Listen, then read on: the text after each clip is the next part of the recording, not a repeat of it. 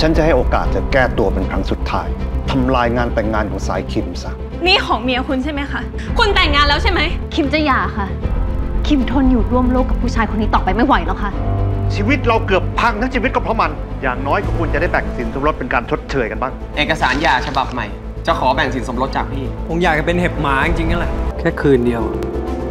แลกกับการได้อยู่กับแฟน คือเธอ คืนนี้ 20นาฬิกา20 นาที ดูทีวีกด 33 ดูมือถือกด3 plus